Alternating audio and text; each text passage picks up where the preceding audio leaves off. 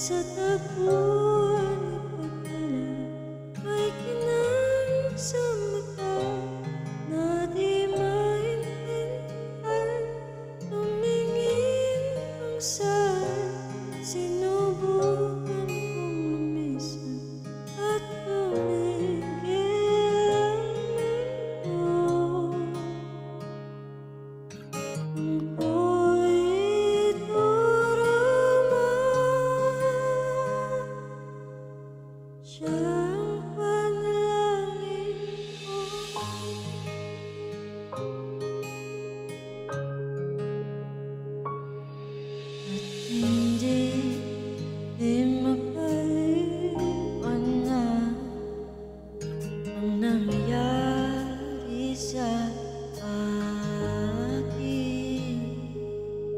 sepsi